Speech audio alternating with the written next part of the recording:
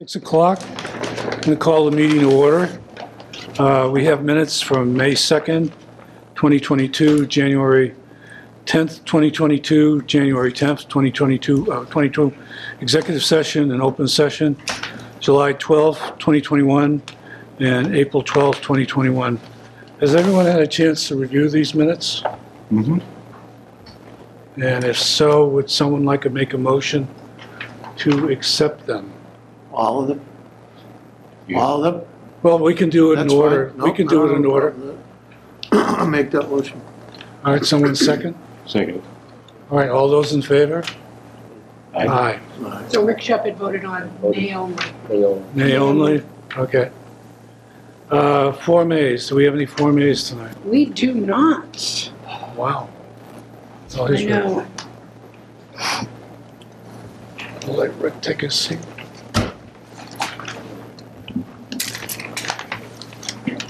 So, So no Form As. No. Okay, we've got the zoning board of appeals agenda. Does anyone have anything they want to discuss on that? Were the actual items included in our packet, or were they same as last month? It's the same as last month because they um, weren't going to have a quorum, so they didn't meet. Oh, that's why just the uh, cover sheet. That's why there were no notices. Did you find out any more about the, um, sorry, the ice cream thing on Center Street, Center Ave? Um, No, just that they have a building permit for renovation. Okay.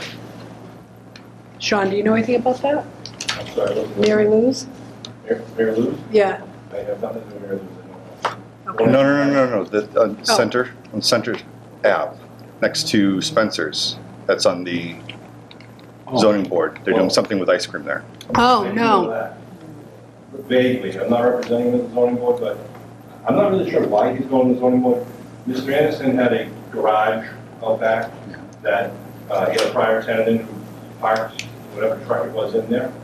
And now he redid the garage, with the building permit, and instead of the other tenant with the truck, he has a ice cream truck parking there.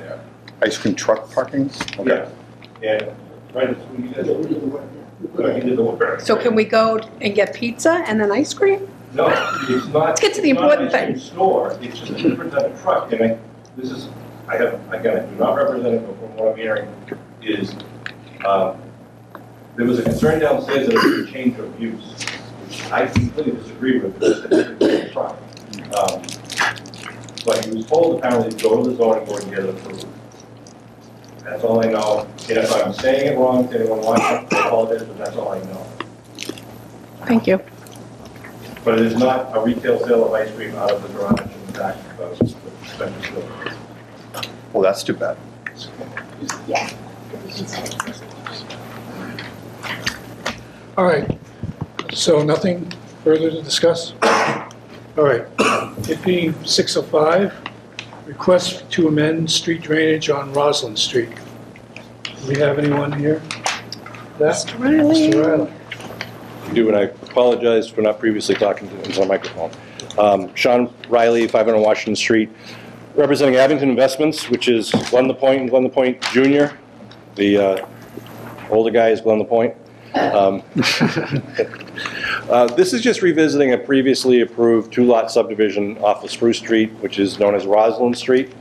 And the only thing this is a request for was, uh, if you recall, this was a private way with open drainage. It was going to be a swale along the side of the road, on the side where the new houses were going. Um, As they were actually constructing the road, the swale went the, pretty much the entire length of the roadway. So as it was, everything was coming into form and the foundations of the house and the driveways are going in, it just, it- they were looking to improve the aesthetics of it all. Um, Because now they had a swale in the front yard of each house. So if you, if a guest came by and didn't park in the driveway but parked in the street, they literally couldn't walk on the front lawn, they'd have to go around the swale and go up the driveway. So they asked their engineers to look at, can we eliminate the swale in front of the houses and just reconfigure the swale that is in the entranceway to the street, which is what the proposal is. Um, So instead of, I think, a two-foot deep swale from, between the street and the first lot, it's now a three-foot deep swale. And the town's engineer has reviewed this and said there's been absolutely no negative impact to drainage, it still collects the water. We're adding a Cape Cod berm on that right side of, that same side of the road, so any rainwater would be gu- guided into the swale. So it's still acts as efficiently as the previous design, it's just a lot more aesthetic. So now the end result is, the two houses on Roslyn Street just have front yards that extend all the way out to the street. But the drainage itself still works, and that's been confirmed by our engineer and the town's engineer. So we're looking for the board to just vote to approve that minor revision to the uh, uh, subdivision, the approved subdivision plan, so they can continue construction, and upon completion, they will then submit the as-built subdivision plan with this minor alteration caked into it. Board comments? Just want to, this is approved plan, so this was prior approved showing the swales. So was it, how, how's the water gathered, how's the water, I can understand, how's the water gathered down at the street point? It looks like it's water being gathered in front of the houses and brought underneath the driveway and then to the next house and then underneath the driveway? Yeah, um, what they done was, um, they, they pitched the road Yeah. from, from this side to that side, so all the neighbors on the other side, there's no water goes in. Right. It's pitched from here, Yeah. and in here, it goes into the swale. Oh, okay, so what what were these, what The what did these the guys? drainage came right straight across here, and they had no front yard. Oh, so how were they catching the water? So now, just on the that- road? that's limited, that's limited, it starts right here, Oh, all right. this corner of that house right here. goes in. Okay.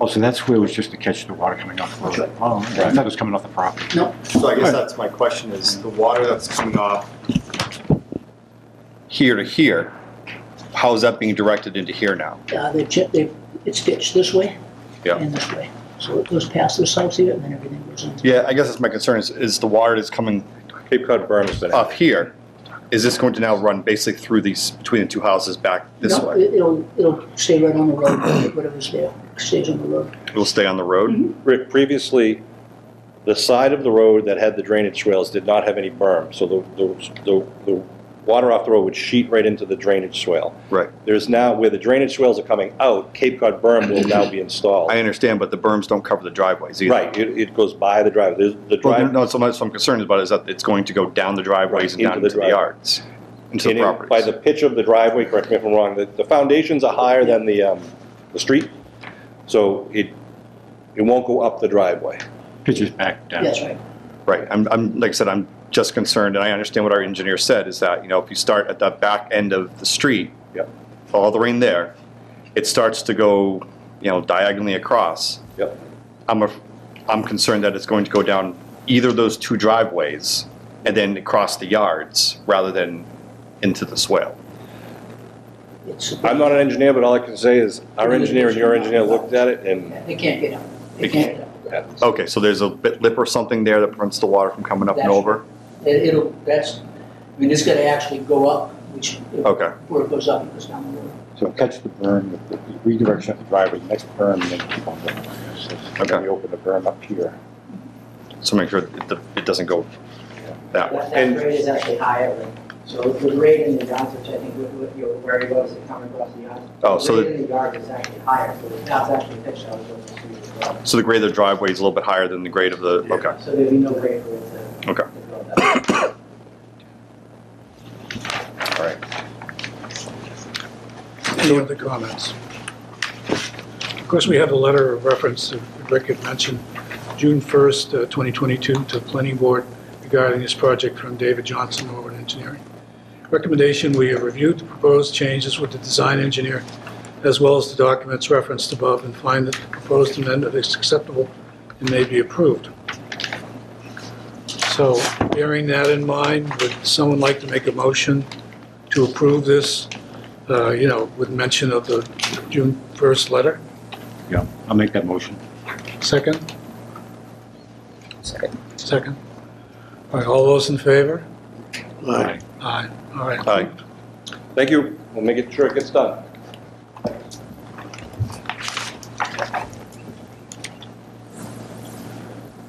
All right. Going to move ahead a little bit. And uh, 6:15, well, it's 6:10, but we can- You're gonna wait till six. we're going to wait till 6:15, so we're going to have a little bit of a break here. Um, you want to discuss the Economic Development Council and the master plan goals, Mhm. you can do that. So, in our meeting packet, we have uh, the master plan update from 2019, and uh, talks about uh, discussion of a development of an economic development council, and also discussion of master plan goals and discussion of amendments to multifamily zoning district law. So I know we got this ahead of time. As uh, folks have had a chance to review it, I'd like to get some discussion on this. Anyone want to talk about this at all? But it's interesting, because I was reading and I came across that, where you talk, this Economic Development concept. One thing that I, I mean, actually, what I notice out there, what I've seen out there, is that when, uh, unless you make phone calls and try to find people, um, you, you know, you have to, you're building something, waiting for someone to discover your, where your place is. The way these places have been filled, in other places, I know I have clients that get phone calls and things like this all the time, is to some, have someone actively, might know somebody and make call, phone calls to someone that may, I, see if they might be interested in coming, try to, uh, basically reaching out rather than waiting for people to come to them. So a committee, and I think it's- it mentions in there about being some of the, uh, well, being the uh, owners of the businesses being part of that. Um, I think they need a guide, but I think that, I think that's what their strong input would be, using their connections to maybe reach out and somehow develop this into a something, into something that's, um, well, something we talked about maybe the, the uh, uh, town planner doing, being able to reach out and reach out to people that might be interested in coming. But, um, Anyway, that's what I, that's what I was thinking about that. Abington had an Abington Business Council. I worked on that with district local technical assistance money when I was employed by the Old Colony Planning Council. And it sort of uh, went into hibernation.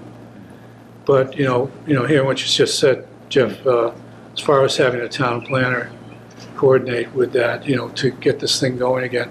And also another thing that was done by Old Colony Planning Council by me and others was to create a guide to doing business within the town, which is still on the town website, I believe. We're looking to update that. But yeah, because it was written several years ago. Yep, yep, there's just, there's some information that's not up to date, and so we printed it, we're gonna go through it over the summer, update the information, and then get the, um, either have OCPC do a revised one, or have them send it to us in a format that we can do it ourselves.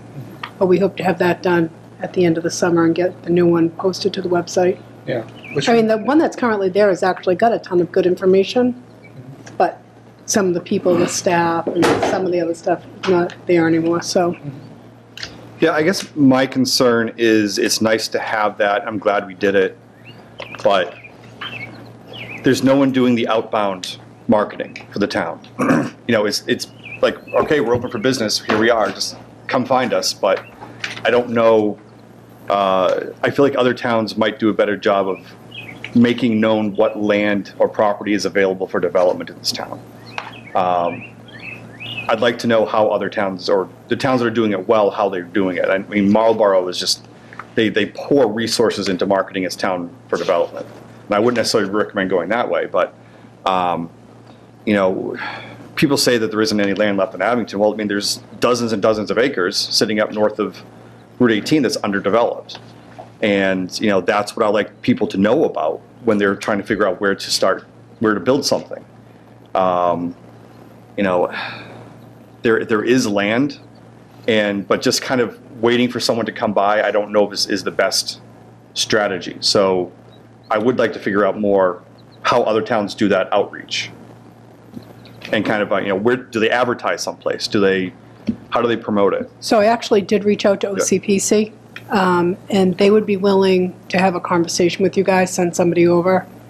Um, The person I asked for, we're not sure if her grant funding, funding is getting, that she'll get renewed July 1st. Um, They have Dottie Fulgenetti is the person you're talking That's, about. yeah, But there's another person over there who's their economic development planner. Name escapes me at the moment. But uh, she would be an alternative to Dottie. okay. You know, also in here, they talked about the REDO I love acronyms, the Regional Economic Development Organization, that this would be done through Chris Cooney, you know, the Metro South Chamber of Commerce. And this is on, uh, what, the third from the last page on this. But it talks about uh, the REDOs are funded through the Mass Office of Business Development, partnerships between businesses, local government, and the state to provide resources to grow and retain existing businesses. And uh, Metro South Chamber in Brockton has been designated as a REDO, the area including Abington. Uh, Metro South Chamber has already reached out to the town, suggest a site or sites that could be appropriate for development. Town needs to work with the REDO and others to identify specific sites and buildings for industrial and commercial uses and projects. So uh, it's a necessary prerequisite to identify land sites and/or buildings that the community seems, deems as appropriate development sites per chapter 43D. Uh, So again, that's another resource that we could tap into. Metro South? Metro South Chamber, the REDO, the Regional Economic Development District. And this was cited in the uh, most recent Old Colony Planning Council The update. sets. The the most, which was Okay. a couple of years ago. 2019, yeah, all right. So I'm waiting to hear about Dottie. If I can't, then I will go to Plan B. Jo- Joanne Zegmont. Jo, okay. Yep, I'm working with Joanne on something else right now too, so I can um, ask her if she'd be willing. But, so maybe September, October? Mhm.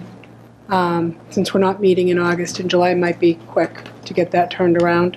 Does, I'm sorry, I thought you were, I'm sorry, I thought you That's were okay. finished. Does uh, South Shore Chamber of Commerce do anything like this, or are they focused mostly on housing? South Shore Chamber of Commerce does this, but uh, it's Abington's in Bri- in. Oh, it's in the Metro uh, South. Metro South area, in in Metro South region. I was REDO. going to say, they have Quincy and, At Quincy and Weymouth Weymouth. and things like that in Rockland. But, I mean, they've worked in the past in Abington, but really, I think the focus is going to be on the Metro South Chamber. so Um, I can it- reach out to them and see who can attend. And if there's anyone here in the audience who wants to mention how they find out where there's available commercial parcels, I'd be interested to hear too. I did, I, I I will mention this, that when I worked at Old Colony, I did, for several communities, I created lists of available properties. And I don't want to add something that loses workload, but it is possible to, uh, you know, go on the town's assessors list, for example, and find vacant commercial, industrial properties and things like that. And that's just something that I did working for Old Colony.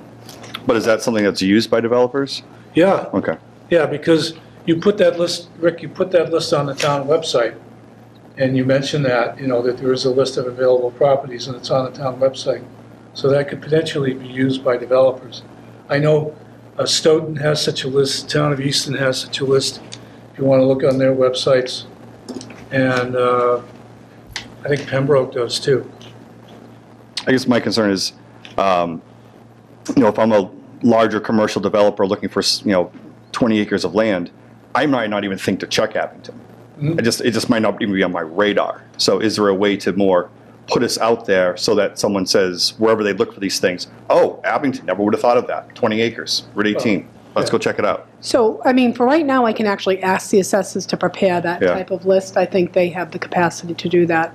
And then I can have our social media coordinator put it out on social media.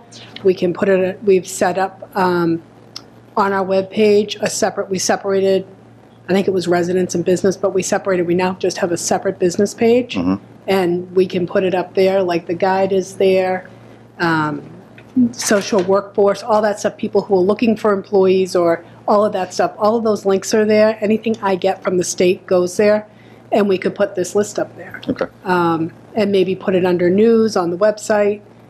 I mean, I, I don't know how much more we can do without then start having to spend Yeah, I mean. to money we take- don't to- actually have right at to- this To take moment. an ad in the New England Business Journal. Right, for example. But you know something, uh, if we did create such a list like this, and it was on the town website, you know, we could go to the Metro South Chamber and have them publicize that too.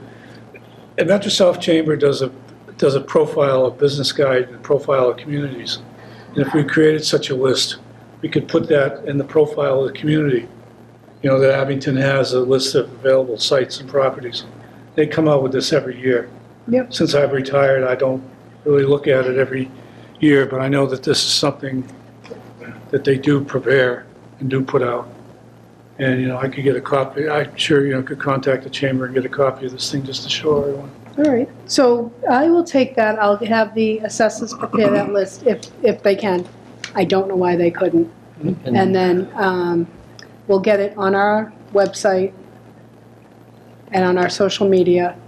And then I'll um, reach out to the um, Brockton Chamber, well, the Metro South Chamber, and see how they can help us um, get that out there as well. So I think going forward, this might be a continuing item on the agenda. Yep. While we, while we work on this. And Liz, if you could get that list of properties together. Yep. That would be great. Yep. I think uh, part and parcel of that conversation as well, as the supplement points out, is um, many communities have experienced success uh, by employing a town planner with knowledge, expertise, experience in business development, which I think is exactly what you're talking about, Rick. Somebody who helps you make that connection Yep. between what we have to offer and what they're looking for. Yep. So I mean, I think that, that, that this conversation should uh, loop back to the notion of having a planner. Yep. But in the meantime, like I say, uh, just having this list of properties Sure. would be a great step toward, Absolutely. you know, making what's available and for development properties in town. And if we could get that publicized through the website, through social media, through the Metro South Chamber of Commerce. I know, you know, I worked with Chris Cooney for a long time. I know it'd be great to work with Okay. on this. Great, and if you guys have other ideas, I think baby stepping, like if, if we don't put a ton of stuff on my plate, I can do smaller projects. Yep.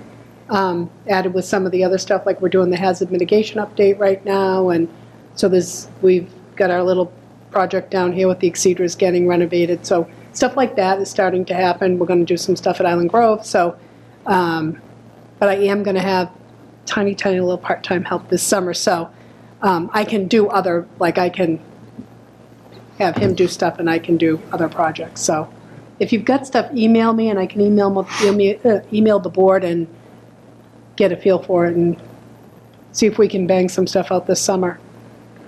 Or at least if you have ideas that need funding that would qualify for CPA funding, they do their stuff in the fall.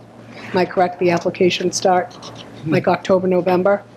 Um, So if that stuff is, if, if what you're looking for, then we can start to look at CPA funding for projects and if that, like enhance, you know, any kind of town enhancements you think would be beneficial and stuff like that. Mr. Riley has his hand up. And I just add one thing, based on my past experience with um, uh, some of the larger commercial developers who came into Abington, one of the, fol- one of the things that they uh, valued was the fact that Abington is unique in that we have four state highways that cross through. We have, you know, 123, 139, 58, and 18. Um, That's why Yellow Freight came to Abington of all places, because they basically were in the middle of a hub of a wheel where they could kind of go out east, west, north, south. You know, we were very fortunate in Abington to have a couple of national businesses, Lowe's, Target, uh, Walmart, which is unheard of for a lot of small towns. We're very fortunate. And yet at the same time, we have two small-town district, uh, small-town centers that we need to kind of treat those differently and help the small business, um, which is not an easy thing to do. So, you know, we all have to kind of work together to make this happen. Um, But it- I think the highway locations and obviously the intersections become very valuable to certain types of businesses who want that pass-by traffic, whereas others can locate in a small downtown area. Um, But that, I just wanted to mention that, that that might be part of the, the sales technique on your website, that it, that might strike a chord with someone who's looking for that type of, you know, the, the four highways intersections. We could also get traffic information from Old Colony Planning Council as far as, you know, traffic counts and capacity, because Right. traffic counts are always useful for businesses. You know, for example, we know 18 has a really high traffic count, and so does 123. But as far as low, I mean, there was a reason why Lowe's located where they were, and Target and Walmart, and Stop and Shop, and even Wendy's, because these are high-traffic locations. It screws over the the North Abington centers and the Abington centers, unfortunately. But as far as, you know, the the developable land that's available is primarily on the 123 and 18 corridors, so, anyway. All right, any more? All right, good. It being 6:15, well, actually, about 6:25. uh, Site plan review, 657 Bedford Street. Mr. Riley. Hey, uh, Sean Riley, 500 Washington Street, representing Tom and Jan Real Estate LLC. With me tonight is Tom O'Connell, the principal of the LLC, and Dan Owig, the the designer, uh, who's put together all the plans for us. Uh, This is regarding the property at 657 Bedford Street. To acclimate you, it is on Route 18, right next door to the Medical and Dentistry Building on the corner of Shar Ave and um, Bedford Street, or Route 18, which is a state highway uh, at that location. Um, There is currently a single-family home on the property. It's 37,926 square feet, so just shy of an acre of, of land. And uh, it is in the highway commercial zoning district, and there is no wetlands on the property, and it's not in the local floodplain or anything like that. We're proposing to renovate the existing home, kind of keep the architecture. Some renovations have already started, uh, keep, keep our guys working. And to construct an additional two-unit building, an additional, and a three-unit building to kind of match the architectural de- detail. Every one of the dwellings will only be limited to two bedrooms. There'll be a garage parking space for each unit and a outdoor parking space for each unit, so each unit gets the two spaces. Um, And then there'll be additional parking, um, a total of 18 parking spaces uh, on the site, six guest parking spaces. Only 42% of the lot will actually have, be covered by impervious surfaces, meaning buildings or pavement. So basically, the majority of the property is covered by landscaping or green grass or trees. Everything on the plan conforms to all the setbacks, all the buildings conform to all the zoning setbacks. There'll be limited site lighting because it's just a residential use, so basically porch lighting.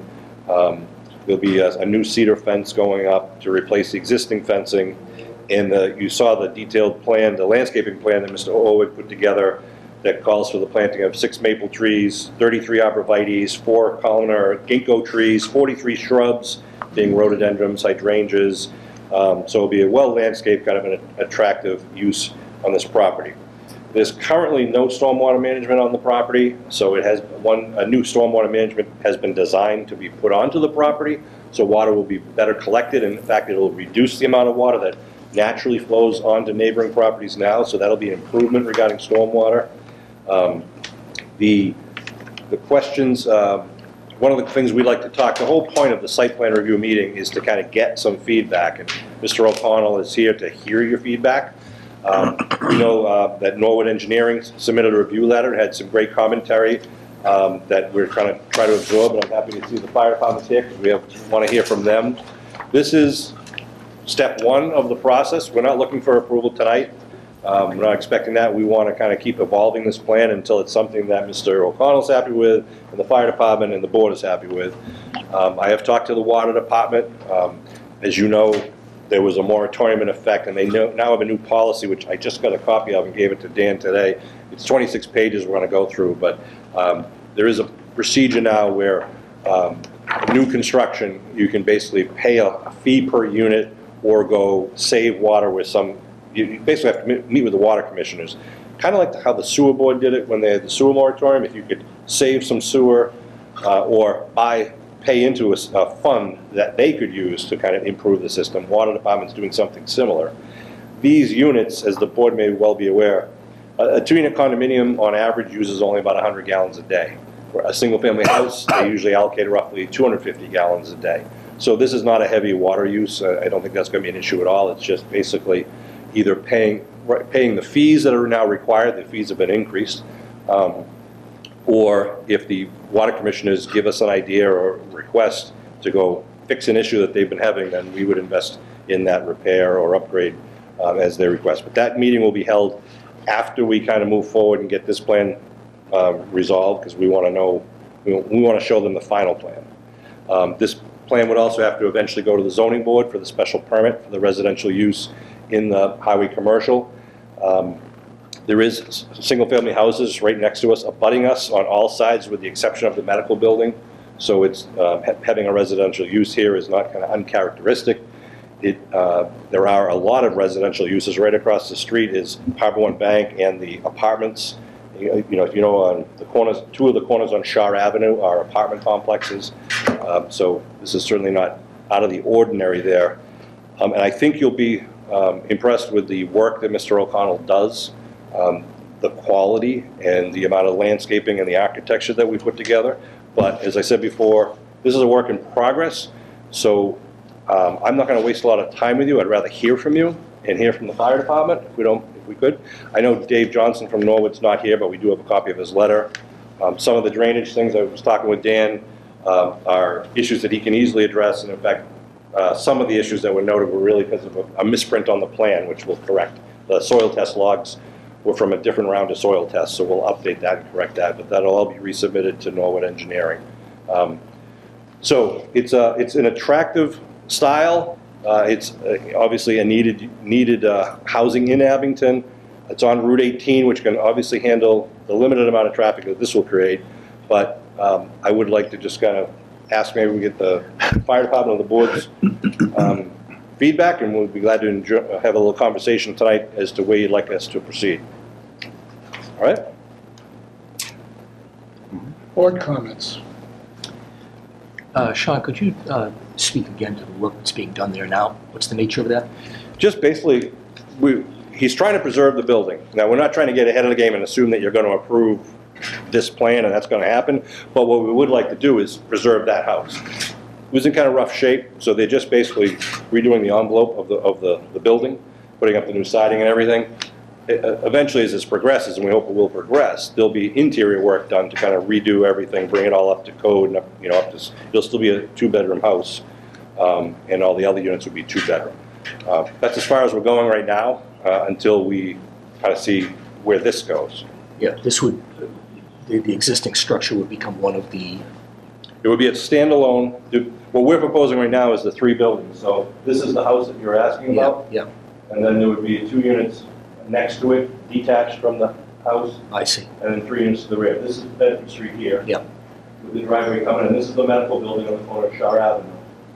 There's a single-family house here, another one here, there's single-family houses out here.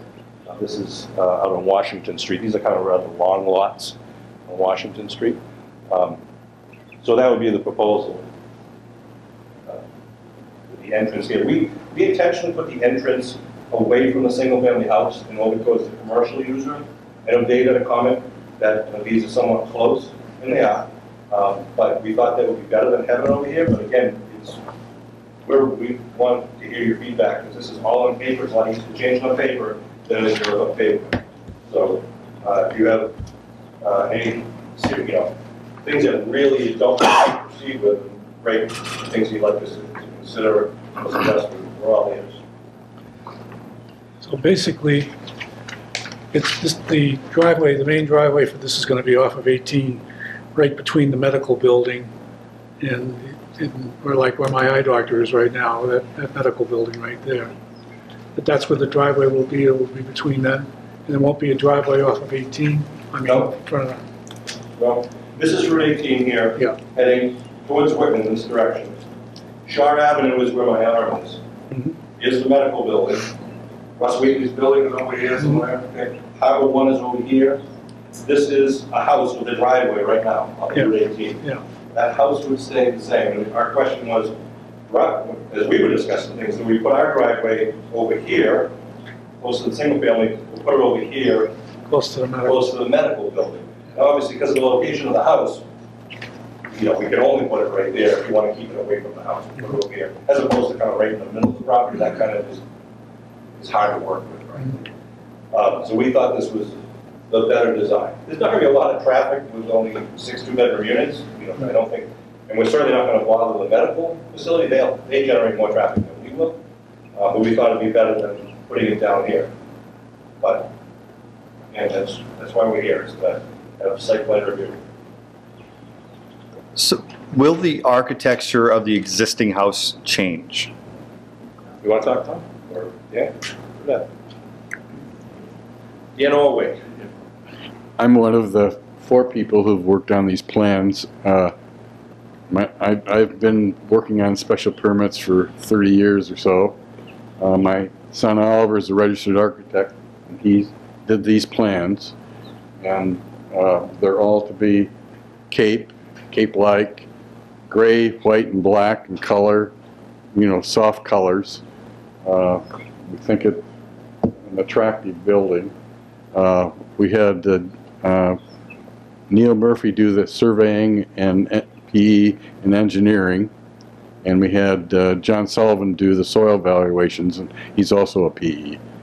And uh, the, if I can go through, the existing site has water main and sewer here.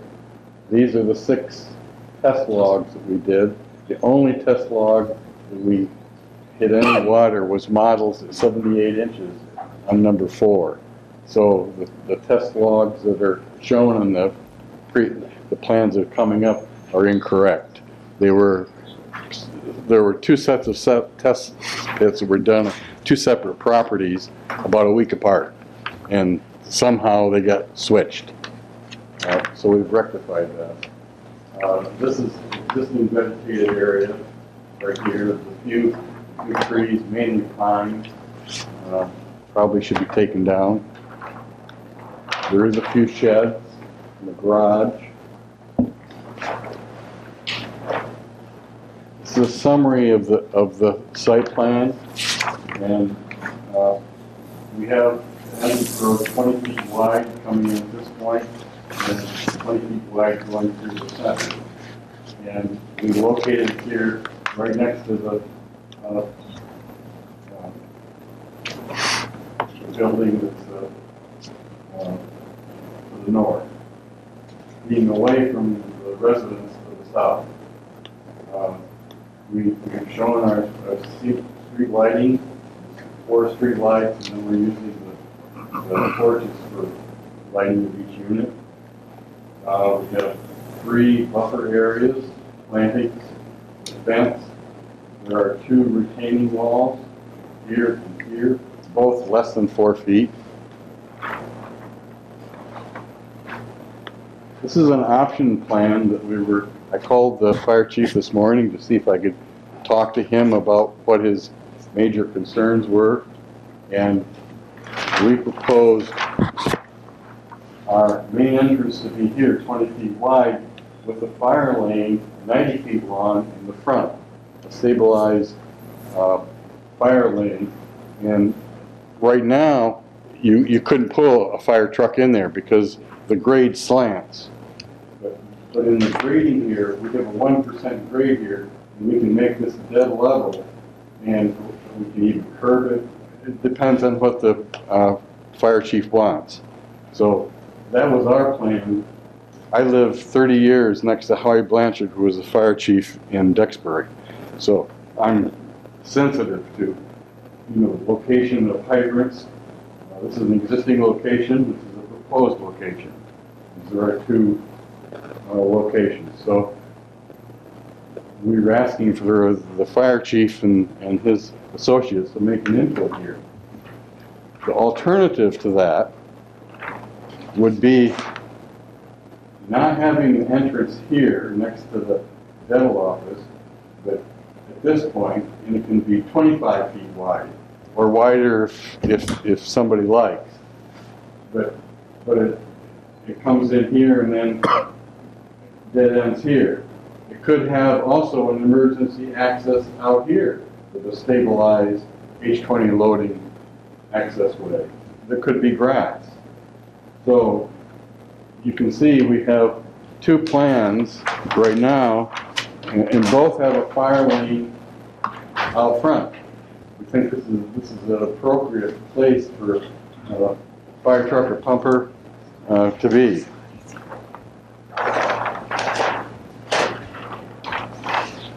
Uh, Our drainage, our drainage is, this is existing conditions and watersheds. I just want you to know that we, we have done a lot of analysis of this. This is the proposed condition, We're reducing the amount of uh, runoff that goes to the uh, dental office. There's two areas of detention, subsurface detention areas. One that handles the roof runoff uh, here, and all of the site drainage here, and then discharges through a waterway right here in the corner. Uh, This is the planting plan, shows all of the planting along three of the the property lines as well as the interior planting. We're completely regrading the site so that it's much flatter. Right now it drops. We we flatten this out. This is a one percent grade and this driveway in is a two percent grade. So we're talking, you know, minimal grades here. The other plans I want, this is, this is showing you, uh, the, the date was uh, December seventh or something here, or, or January seventh, but it should have been December twenty-first. That's why I knew, I, I, I- missed this, I didn't check that, they put in the wrong, somebody put in the wrong soil logs here, that's why the drainage elevations were kind of screwed up here. But had, we have all the details of, uh, what, uh, Norwood Engineering would want.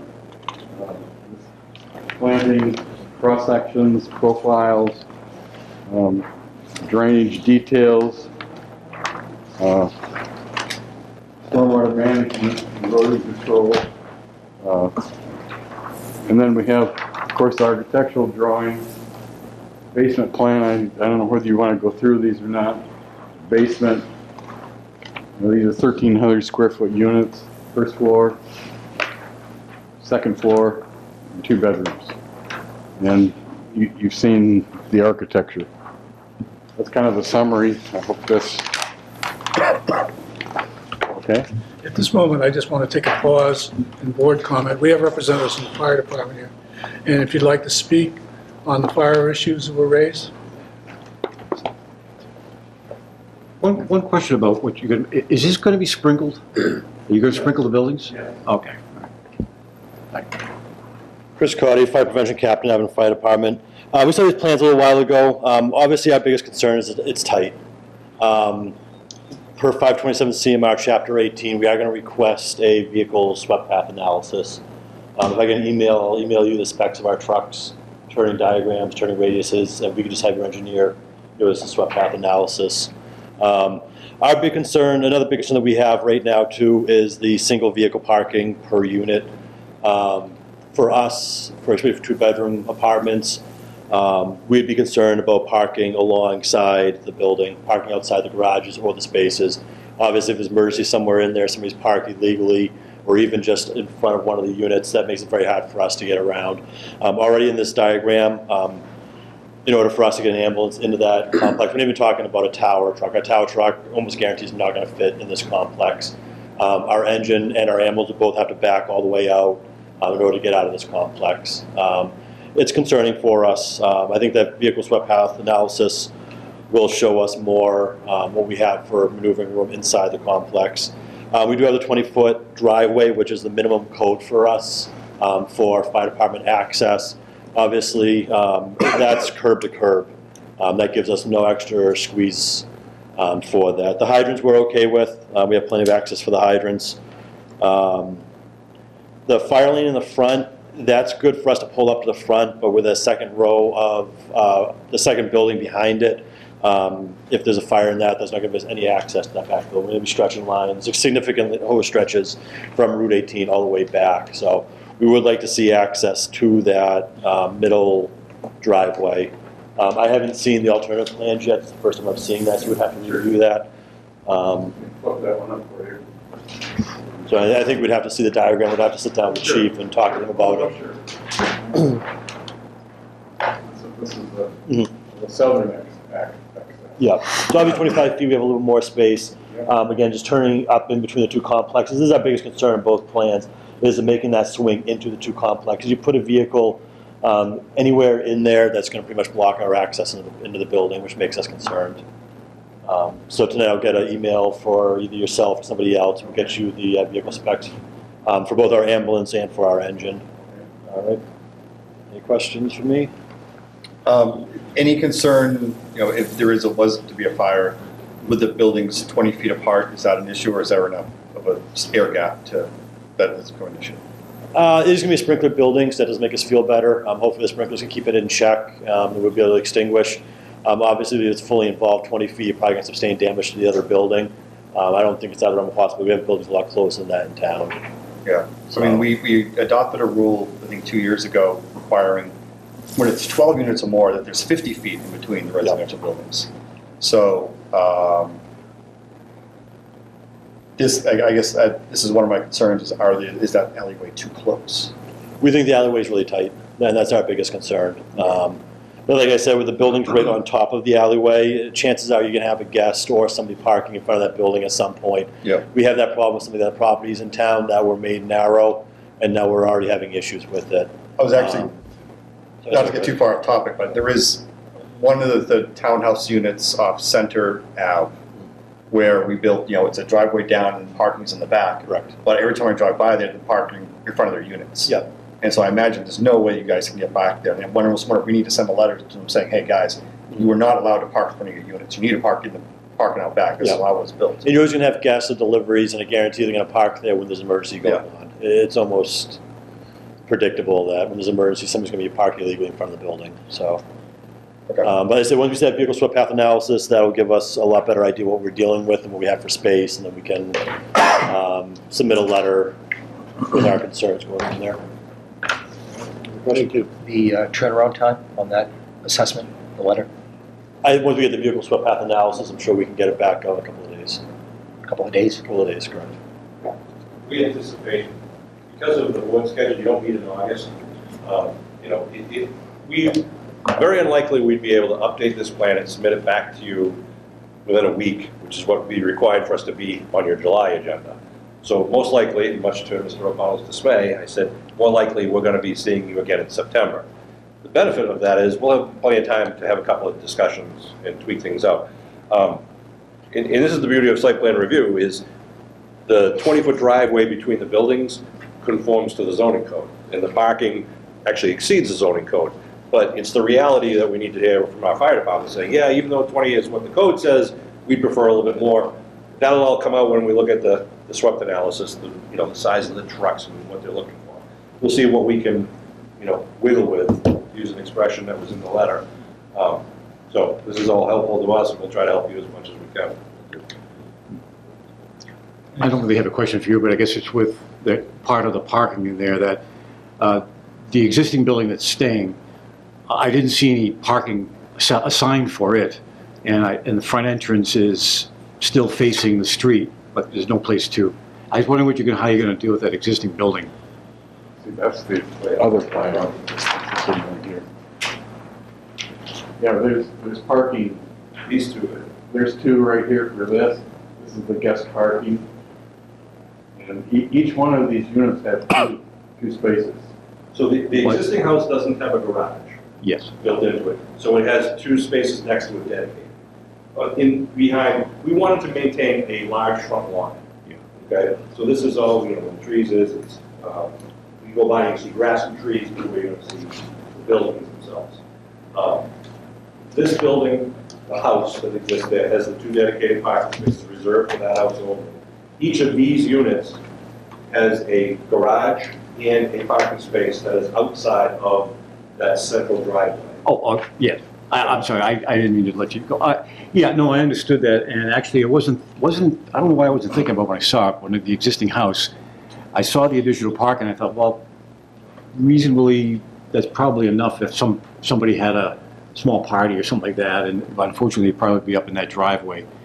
Um, There's three extra spaces down here and three extra spaces up there, we're going on opposite ends. Right, Um, The minimum requirement for the entrance driveway and for this driveway um, is 20 feet.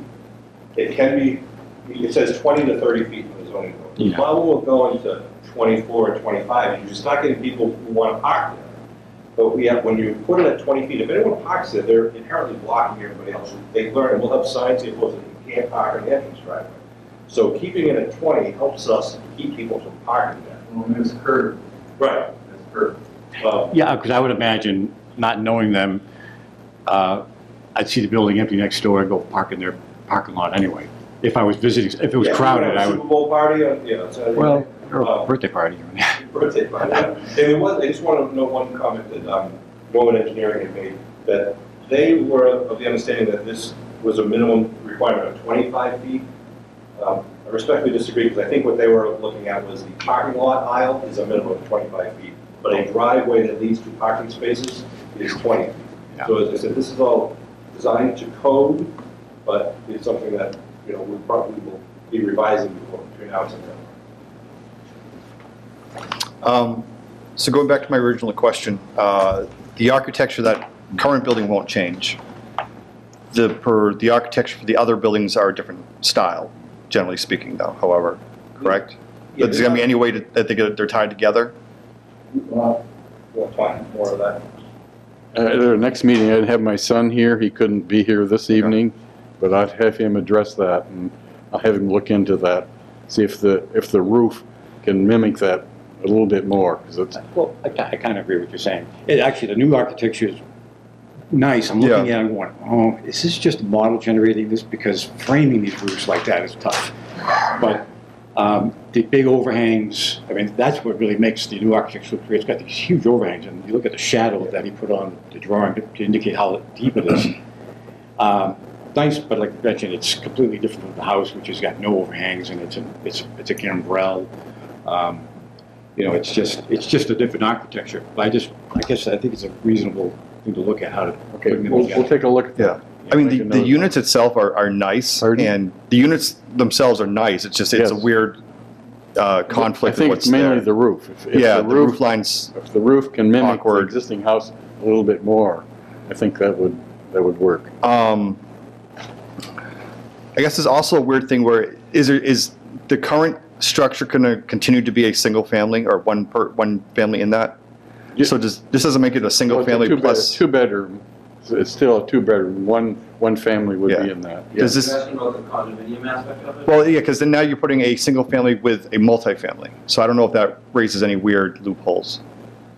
It would just be a master deed and a traditional It's part of the condominium structure. I'm sorry? So it would just be, uh, Right. It's part of a condominium association. You could actually have Oh, four, five, six single units as a condominium. Okay. um, or duplexes, you know, two-unit buildings, three, Yep. what, it can be any blend. The only thing with a- what a condominium is, is basically shared responsibility to maintain the common areas, uh, private. Um, So in this proposal as drafted, is the one-unit building, the two-unit building, and the three-unit building. Um, That would all be the same one condominium association, so that the town does no plowing, the town does no maintenance, this is private property. They maintain it like any other condominium, most of them are larger, but this one. So these units seem to be very similar to part of the development at the air station. There's a section of it where you have this sort of, I don't mean alleyway, but it's an alleyway, uh, common access. Access is off this, you know, 20-foot wide, um, and then the, it's really the rear of the house units, and then the front of it is someplace else, and there's more green space in, in front of it. Um, I don't know if anybody has seen them. It's an interesting concept. I, I kind of, it makes sense when it's part of that larger development. I don't, it's not striking me right personally, uh, for this sort of one-off experience. Um, We had similar discussions, and that's why, again, we wanted, Mr. O'Connell was big about the landscaping. Yep. He wanted it that, what's it gonna be, the streetscape to look like? And that's why the, you know, you get four, a forty-foot deep front Yep. yard with trees and landscaping. You'll see the facade of this house, and effectively, this other building blocks your view along with the trees of the building behind. So you would come down Route 18 and see grass, and essentially a single family, and then Yeah. a two-family next to it. I mean, that, that, one of my questions is, is the elevations for the Bedford Street view in the packet. I wasn't sure if I was looking at the right thing or not. That was more of the, the, of the, this one right here is more of the view of that driveway between the buildings. No, that's what I'm looking for is, is, is- are one of these, one of these pages contain the elevations if I'm standing on Bedford Street looking at it? No, it does, Okay. it does not. It- it- Those are the, the elevation of the architecture Yeah. are of, of the, the two and four unit buildings. We can try to develop that in September. Yeah, it's, I just, Well, I I think. that's what's one of my kind of stickler points is, all right, how is this gonna look from Bedford Street? Because I'm, I'm gonna be the one that's driving by it every day for the next 40 years, so. Me too, I agree with Yeah. you. And- You know, the, the, the- here's the, the roof plan, what you're, you're commenting about. Yeah. You know, maybe we can mimic this more like the existing house. I think one of the things we mentioned, he and I have talked about, the- I don't mean to interrupt is that the back of the building is facing Route 18. Um, And that's what it kind of, I mean, the front of the building's a nice way and they're all facing each other, Yeah. but the back of the building is facing Route 18. We- Well, We've because had a lot of complexes that kind of show their rear ends to us, which is, isn't very pleasant. And, you know, big gas, all the gas wanted, everything you don't want to see behind the building is facing the street. So I just want to know how you, that streetscape is, it looks, Well, we'll do, we'll do an analysis of that view, but with the landscaping, and you have to realize that's where the 40 feet of yard is. Yep. And so the outside space is important to the inside space of the house. Sure. The residents. Yep.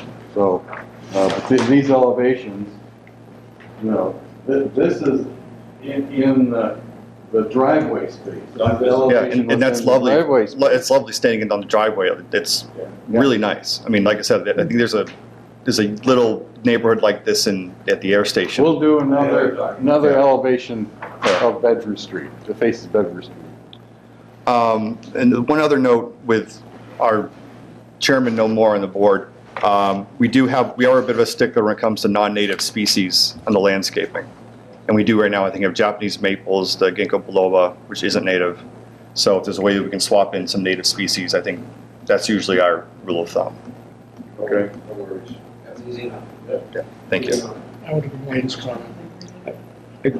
I, I did have a question, uh, that reg- actually, uh, regarding the streetscape. I'm glad you're very Come much interested in us. that, because I saw, one thing that sold me when I was looking at the plan, well, when I first looked at the plan, the first thing that grabbed my eye was the great, the great big looking trees on the street, the streetscape, if those trees actually would grow to maturity, that would look nice, other than, you know, scrub brush.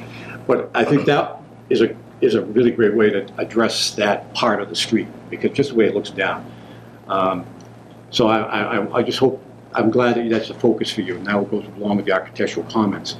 One thing you may notice next door is there's, I don't know if you call it illegal, that you'll get arrested, but there's an illegal, there's a light that's not next door to you that doesn't, shouldn't, should have been taken, never been put up. They put a big spotlight on the roof, and it, it glares on your property.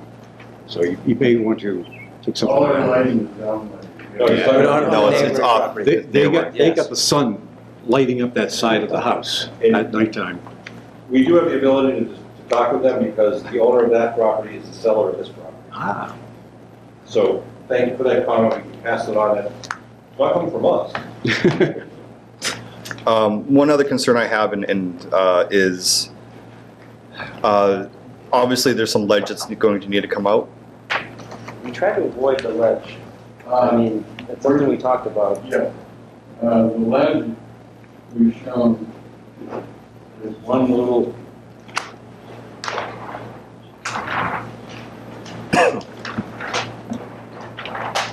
There's one little section of exposed ledge Yeah. here that goes up right through this, this area right here. And part of the reason we, the other reason we have the entrance road here is to, so we wouldn't bump into that. However, we went to 10 feet on that hole of pure sand. So it, it's a very localized area. It's not a, not a big area. Uh, and, and we went up the top of the hill and we, just to, to look to see up right there in in that, that location, we dug another hole just to locate where the, and it was down four feet, the lead was down four feet, and it was all broken up. So I, I don't know the history here, and I, and I know that there's been an excavation of, of a face of lead right there, so there is a little bit of lead that goes through like, like right in there. And this, they dug this, uh, Mr. Frazier uh, personally dug that whole area out. I don't know what he, what he used to fill for, but he told me he dug that area out right there. You want to know about Phil? So, so we'll, we'll have minimal excavation of, of ledge. Does that answer your question, Mr. Hawkins? And there, there wasn't, in all, all, all six holes, there was no ledge encountered to, to 10 feet. Yeah, I, I think the, the, the elevation of the ledge in your buildable areas of like 134, and I think you have to get down to 128. So there's, I mean, there's a, we're not talking thousands of cubic yards, but we're talking, there- Yeah, there's some no. removal that needs to happen. Yeah. It'll be a fa, it'll be a sheer face, it Yeah, sounds like, at some point. yeah. Okay. I'd be interested just to make sure how we're gonna maintain that if it needs any sort of stabilization or anything like that. Bob, did you have any comments? We have some correspondence regarding this project. Uh, This is a letter to, uh, Can I ask one more question? oh, sure. Um, You saw the Norwood Engineering comment on uh, snow, relocation of the snow removal. Yeah. Get thoughts on that? So presently, our proposal is the snow removal will be basically to the rear of the guest parking areas, which are the least likely used, especially if there's a blizzard coming. Our assumption is these people here aren't going to be inside the guest home. That being said, that was, you know, the easiest place to put it was off these guest parking and also down here. That's what the original plan was? This, that, what you have in front of you right now, that's what that comment is based on. Yep. He's asking us to look at alternative Yep. things, which I think will come to fruition as we work with the fire department about, first, what do we need to move for them, and then how does that relate to, remove the guest parking, to remove the snow? So we know it's on our list to, to address. We actually, our, one of our original drafts had the hydrant down at the, the dead end part of the driveway, and we thought it best to put it back at the, closer to the entrance spot where it'd be easier. For the little I know about fire department operations, I'm learning, uh, it was better to move it there, and apparently they've agreed to that, uh, at least in this part of the drawing. Um, Same thing, we put the dumpster, so uh, the truck, we've learned that they like to come in head first, and then they would be able to back out and and leave head first down Route 18. So there's a lot of moving parts, as the board's well aware. Um, So we will just continue to keep updating it. But um, uh, one of the earlier drafts, we actually had extra parking. We want to take out the the forest, the wooded area that's out behind the residences. And we're trying to abandon that.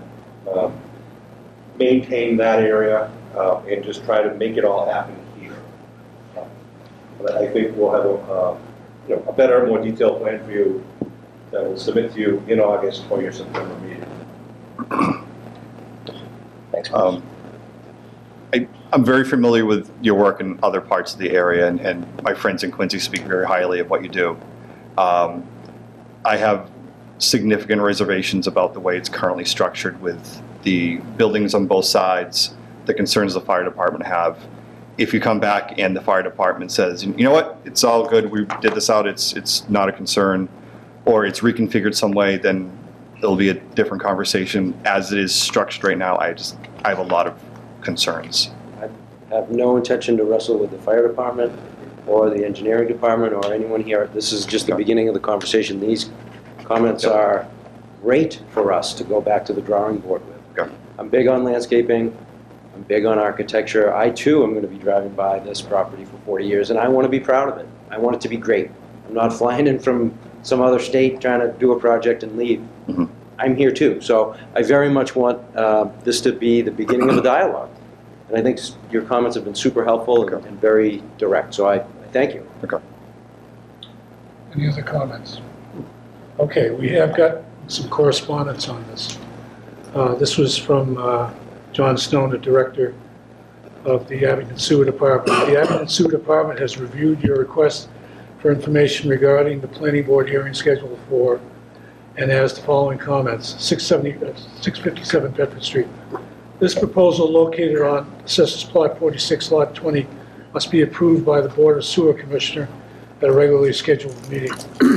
And uh, we also got a letter from uh, Mary Ann Wong, uh, the zoning enforcement agency. Uh, uh, Good morning, Liz. We reviewed the packet and just had some general comments.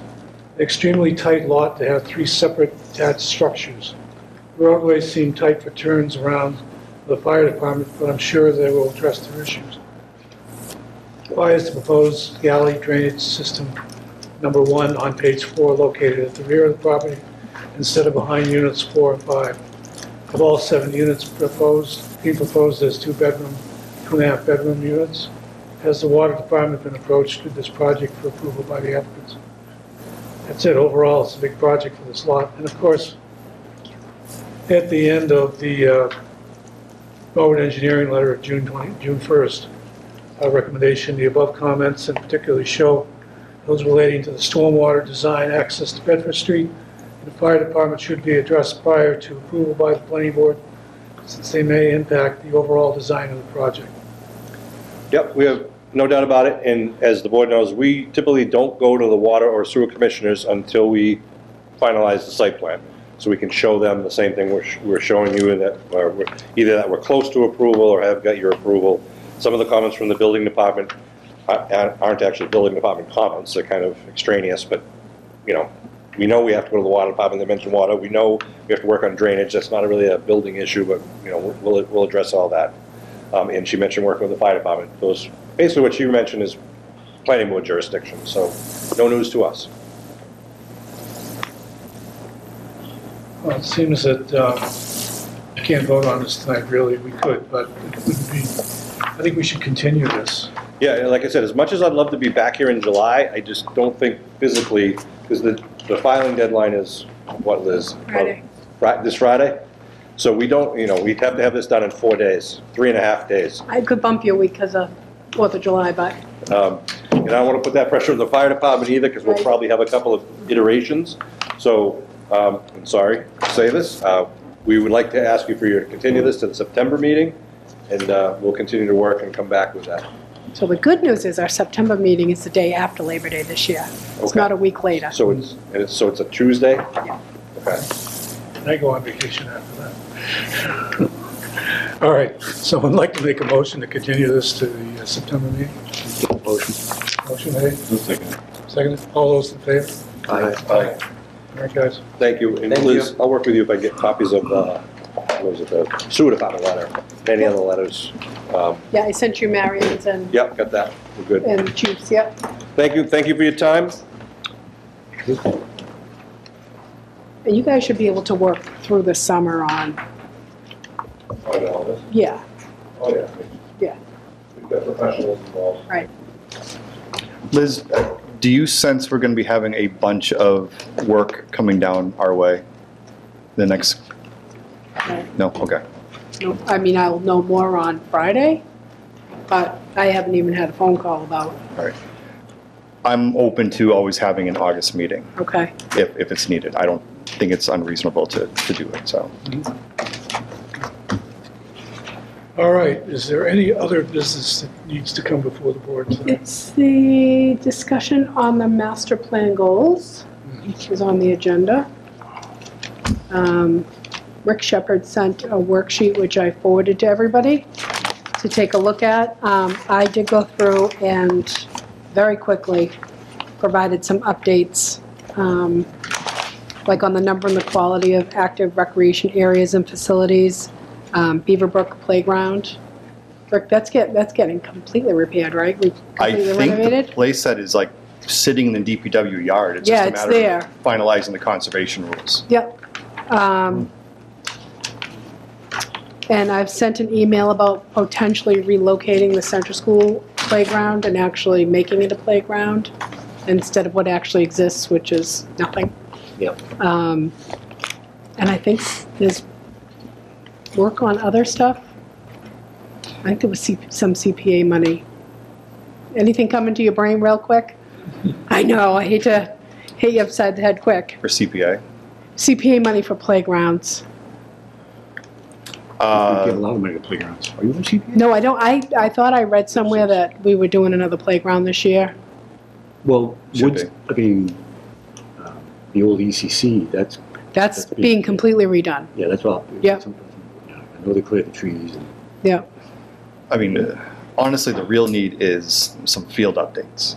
As a parent who sits on these fields right now, they're all terrible. Well, Yeah. terrible is a project. I've said it worse, but they're all. I was gonna say, need. you weren't there when the high school was to the, the front and the back was a swamp.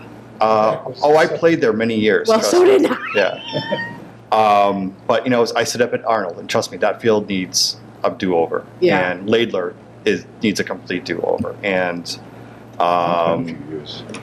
I guess is apparently coming along. I'm pretty- sorry? I say Woodsdale's probably coming along pretty nicely, I think. yeah, Didn't they how did- just do Woodsdale not did- too long ago? I thought we just approved the CPA money for July, so I don't know how's the So work. that's, that's what I get, so it's Woodsdale, right? I, I skimmed through it quick.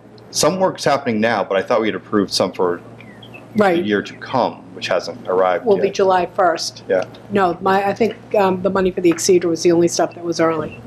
Okay. still work, I think, is largely complete.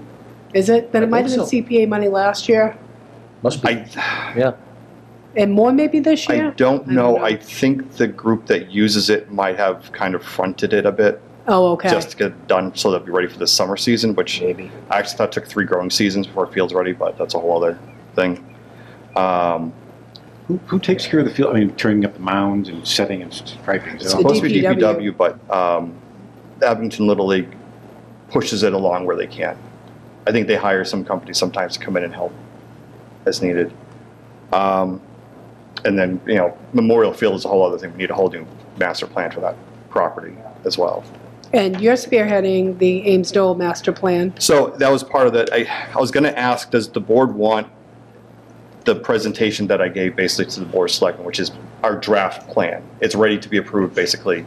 So if the board wants at the next meeting a quick update, I can give a quick update as to what the master plan is going to look like, that we're gonna be submitting to the state. I think that That'd be be great. It's always a matter of conversation of where to go. Oh, yeah. Yeah. Um, but there were a couple other notes here.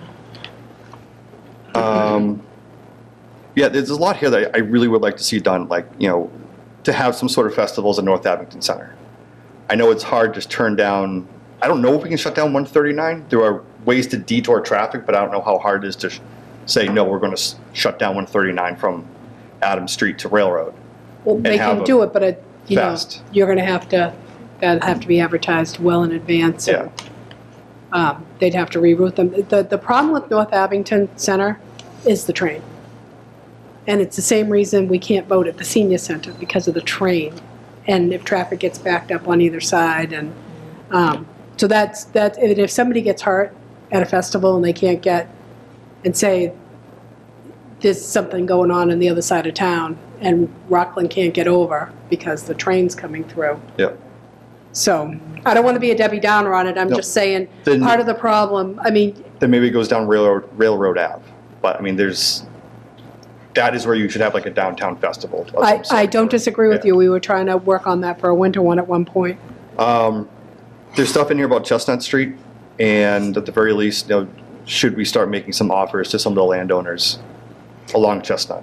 About zoning or what? What do you mean offer? Oh, uh, like buying the land through CPA Oh. and making it as part of the town-owned land, making it part of the state forest, or not state forest, but the, the Oh, forest that's in an area.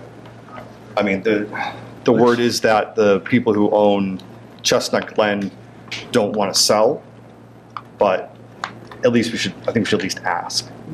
And then there's another private landowner who owns a bunch of those properties right along Chestnut too.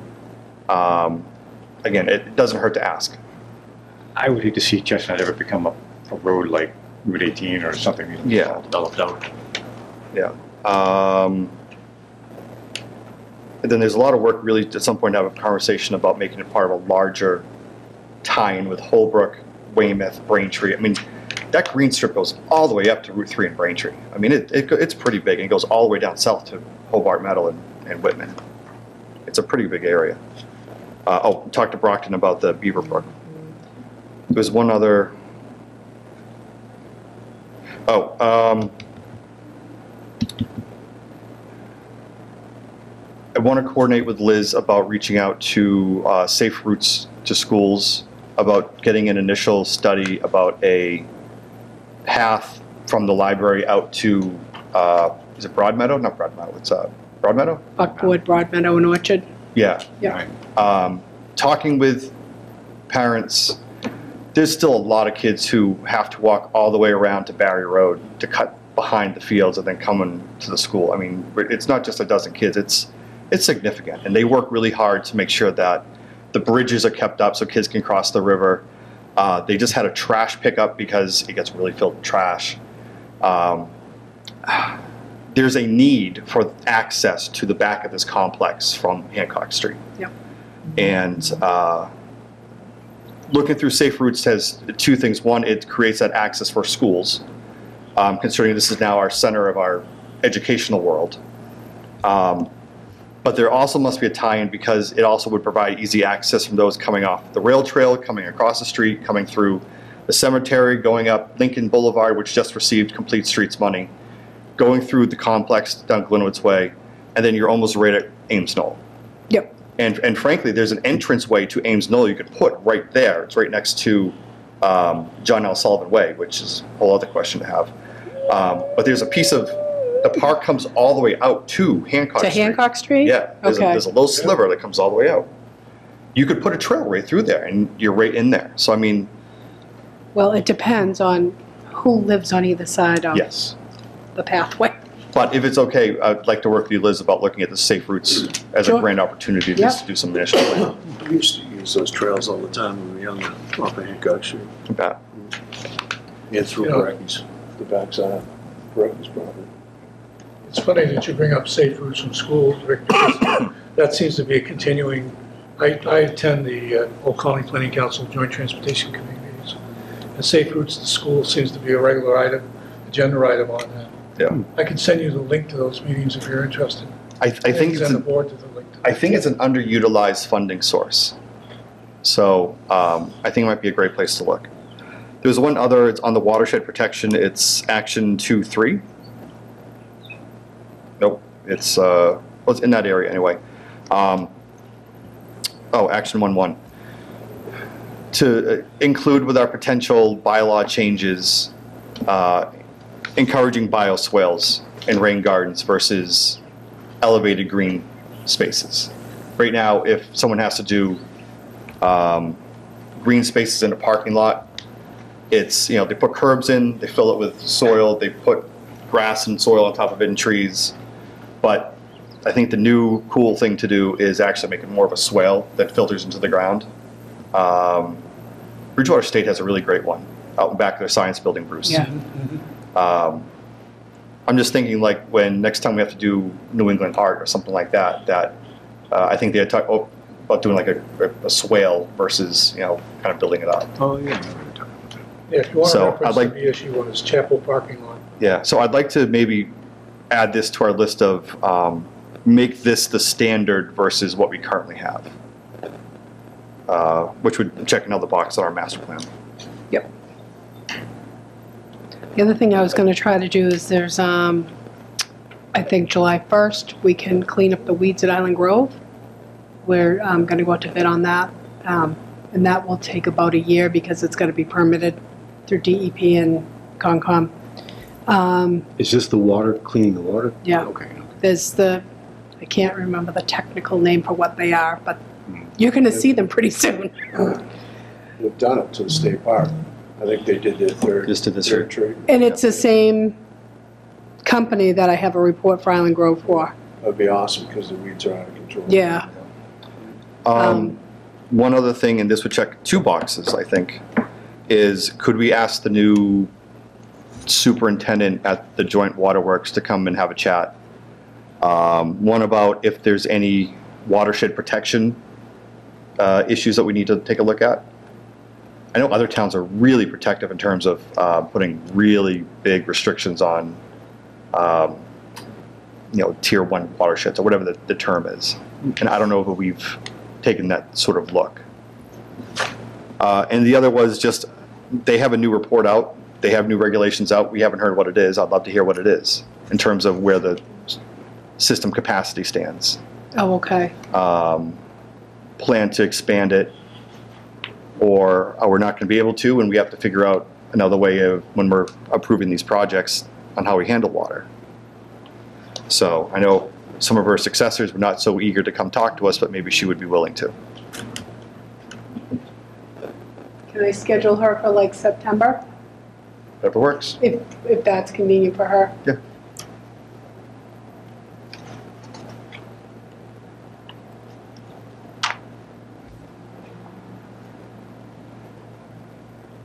All right, and we have, If I, if I may, uh, so there was nothing really magic about the, the, what I put together. It was just pulling these, the things that you're going through right now, Rick, dropping them into a spreadsheet, and then putting an area on the side for what are we doing? No, I think it's or what- great. Or what do we plan to do? Um, For a couple of reasons. I think there's, there's clearly things that are going on with other boards and committees in town that are contributing to completion of some of those things.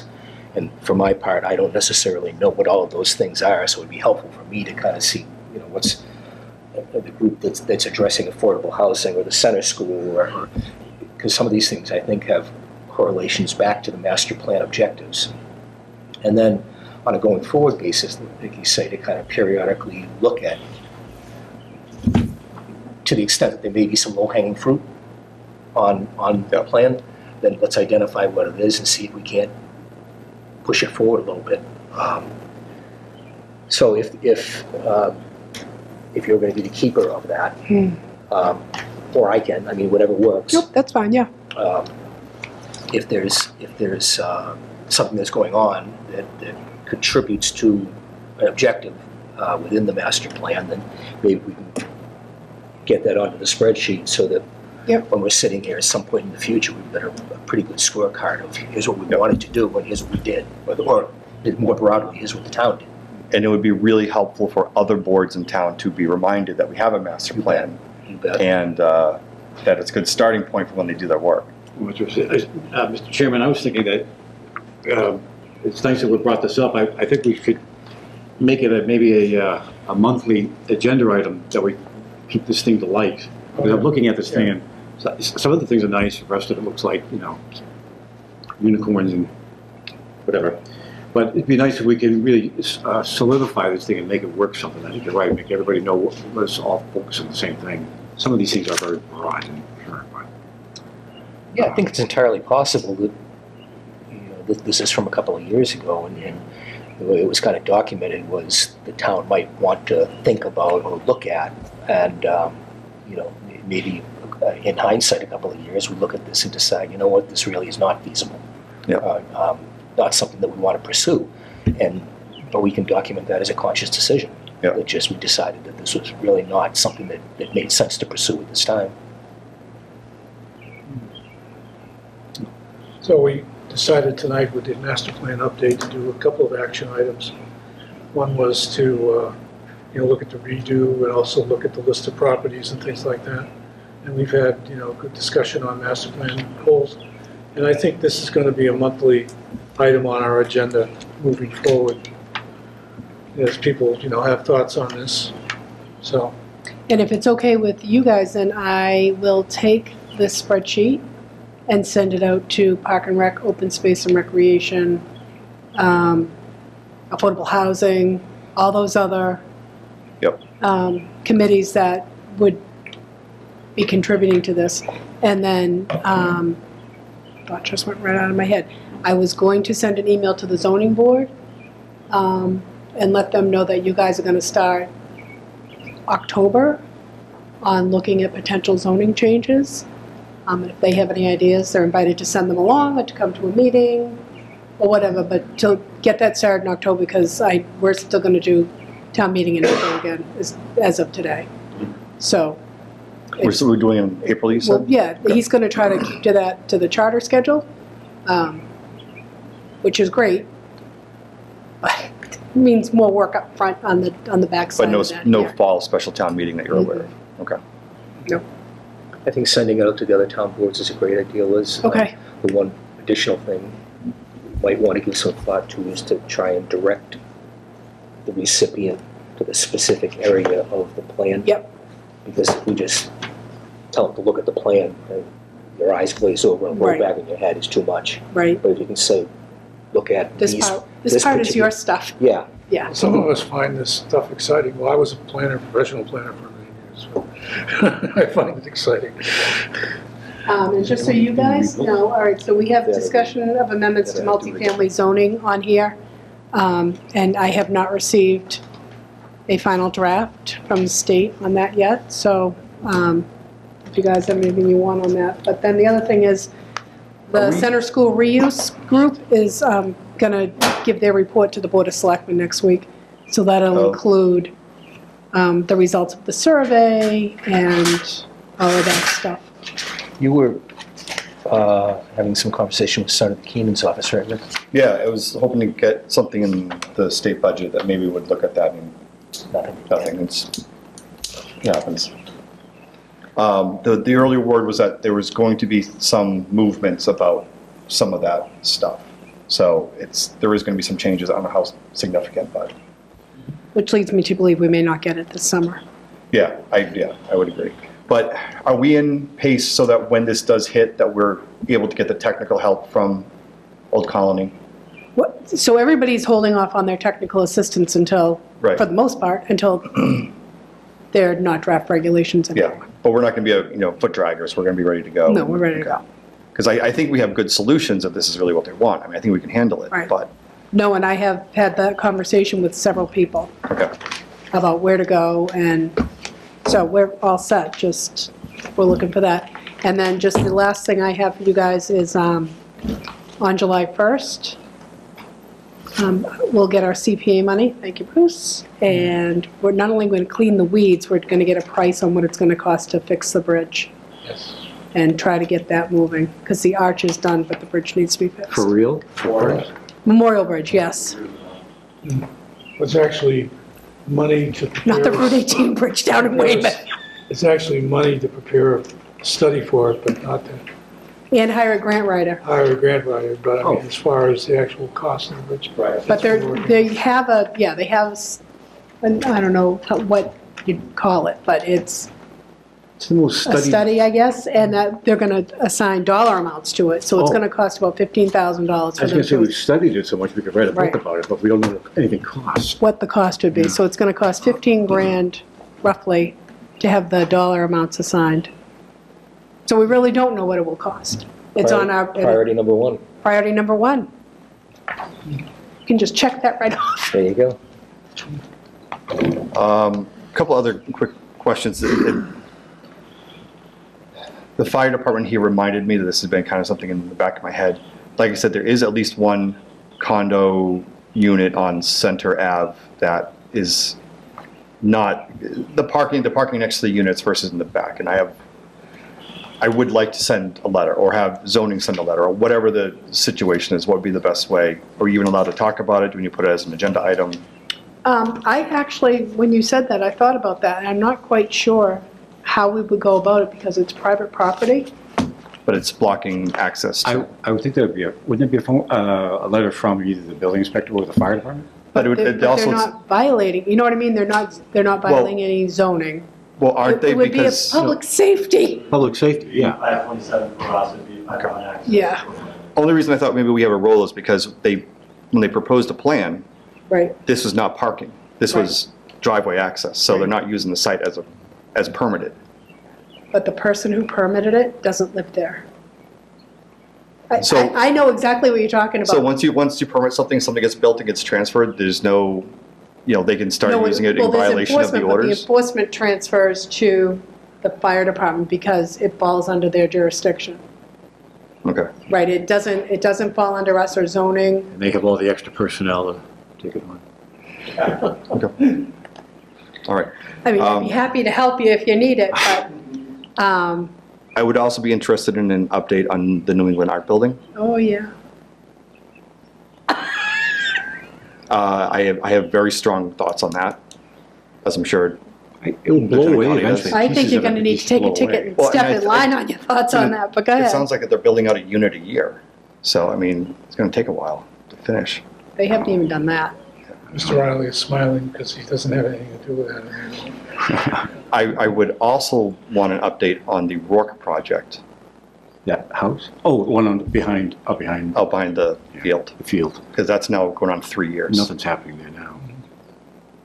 Those two Maybe houses four they wanted to years. build on the end of the oh, So- track, All right, but I think that's, it looks like it's a dead project. I don't know, I'm just very curious. I'm writing everything down, because if I don't, So this is kind of a new business thing, sort of, I guess we're talking here. I was one, we, when we did the um, Zoom meetings, it was horrible as a committee, but what, what I liked about it was that viewers could watch from home and wait, maybe type their questions in. But I was, I know there's, you need a person to do that, but I just wondered if there's any interest in bringing that back and making use of these TVs that probably don't even work. so these don't work. Yeah, that was a good Um, investment. they're, I think they're looking to upgrade the room. Yeah. Yeah. um, over the summer. Um, And that may make a hybrid thing more possible. That, because they, 'cause you can't quite connect with that, because I know that's an independent Right. thing, yeah. Um, Well, I don't. hmm. And I, This looks like Sean's it's- volunteered to man up the computer while we're here. Oh, He's going to answer the questions. I think you have open meeting law issues to deal with. with hybrid. Yeah. With people who are here and not here. There may be a way to do it, I don't know. if it's- Well, there still is now. Yeah, The governor has extended all of that. right, that was allowed by statute. Right. Because during that temporary to thing. COVID. Um, And it's still allowed. I just like the but- idea that, I mean, people seem to have a lot to say, but they're watching old They'd rather movies stay of home. us. But I like, to- well, people just can't get out. I mean, they just can't, I mean, they just get kids or whatever. There's no doubt about it that, that remote Zoom access benefits a certain segment of the population. There's also a lack of control over who really is zooming into your Abington Planning Board meeting. It could be someone from anywhere, not necessarily an Abington resident. So, you know, there's danger to it also, or at least a lack of control. Um, It's also sometimes, you know, difficult, you know, for the proponent, the applicant, even the board members, who are talking to live people with plans, and then people are away.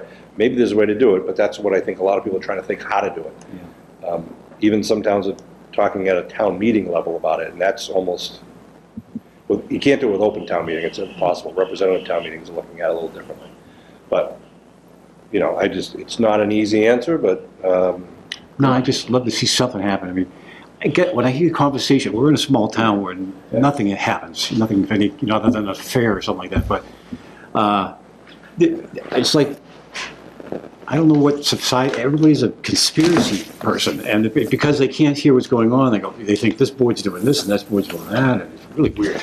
I would like to give a shout out to Abington Cam for the amount of meetings that they um, tape and put on the internet, on YouTube, so people can watch your meetings, even if they're not home tonight and couldn't be here, they can watch it at their leisure for, you know, anytime um, for the next several years, really.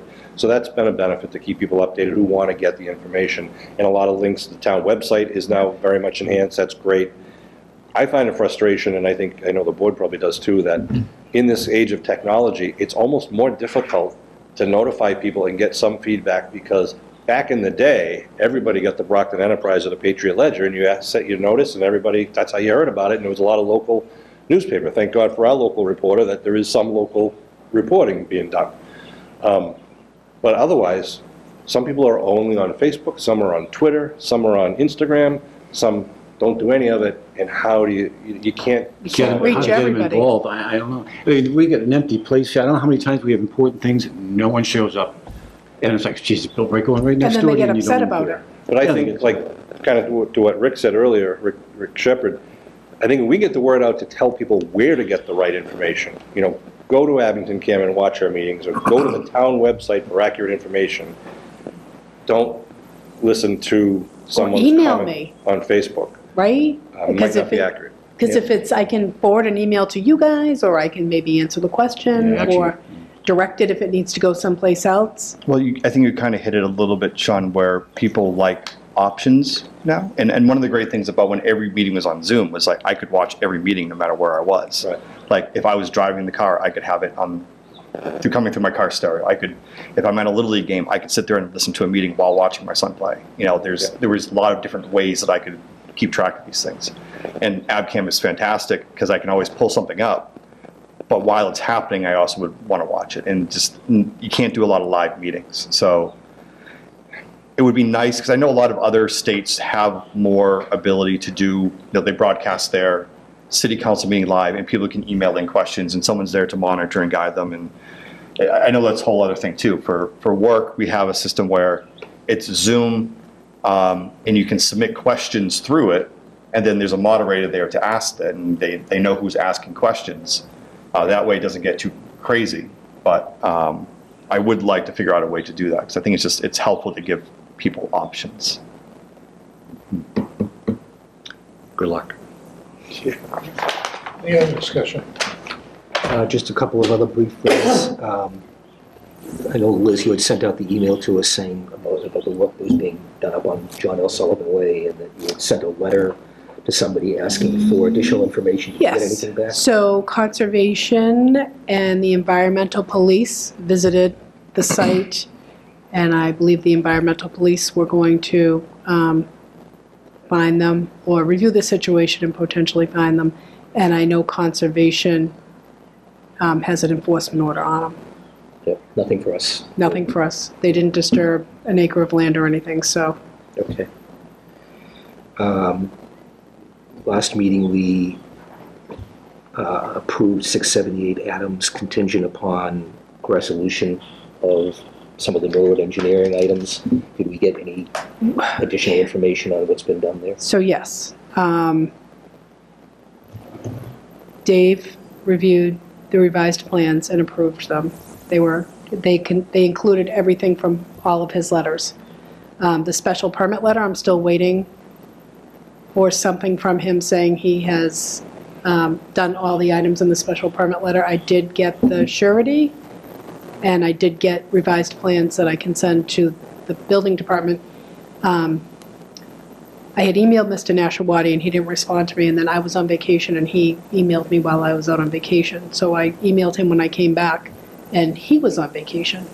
So he said he's coming in tomorrow. I told him I needed the response to the special permit stuff, and I need a building permit application that I can have a board member sign. So when I get that, I will call Bob or to have him come up and sign it, but I haven't had the application.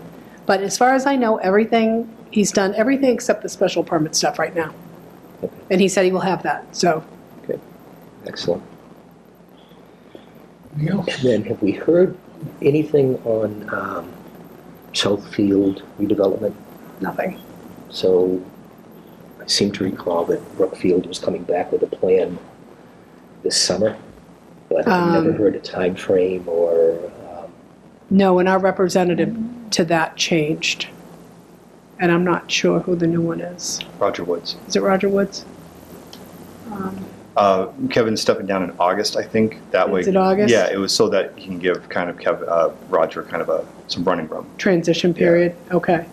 Um, I can send an email to the town manager and ask him if he has any information. if we, yeah, I mean, Okay. right now, any information is more than we've got, I think.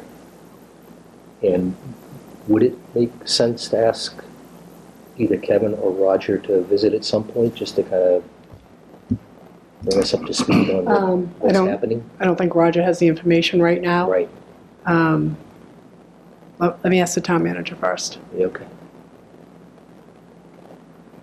Well, indirectly to Southfield, but more directly to Route 18. At the last Old Colony Planning Council Joint Transportation Committee meeting, I asked about that second bridge. Now, that's in District 6 as opposed to District 5, which is what Abington is in, it. But they are going to reach out and they are going to ask when that second bridge is going to open. So that would be really good to have that bridge open. Hmm. And if I find out, I'll let you guys know. Route 18 bridge. Route 18 bridge Memorial over the Bridge. train tracks. The new one. Well, that's under construction. Yeah. It's done. It's just a matter of getting it connected. It's, it's traffic calming right now. Yeah. Except for if you have to turn into the South Coastal Vet, which I've had to do several times. Uh-oh. Recent weeks. They are as busy as the hospital. Yeah, That place. it's a busy place. All right, Motion to adjourn? motion to adjourn, Second? second. All those in favor? Aye. Thank you. Thank you, Abington Fire Department, for attending the meeting.